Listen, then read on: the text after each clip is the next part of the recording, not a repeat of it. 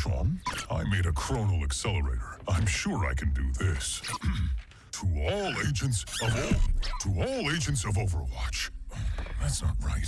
To the former agents of Overwatch. This is Winston. Obviously. Thirty years ago, the Omnics declared war. Nations of the world had no answer until they called upon a small group of heroes. Overwatch was created to rescue humanity from the Omnic crisis.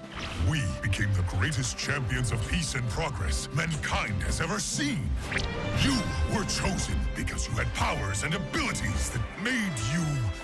You joined because. You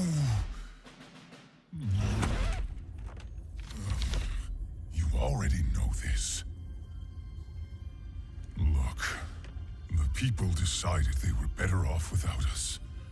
They even called us criminals. They tore our family apart. But look around! Someone has to do something! We have to do something! We can make a difference again. The world needs us now, more than ever. With me?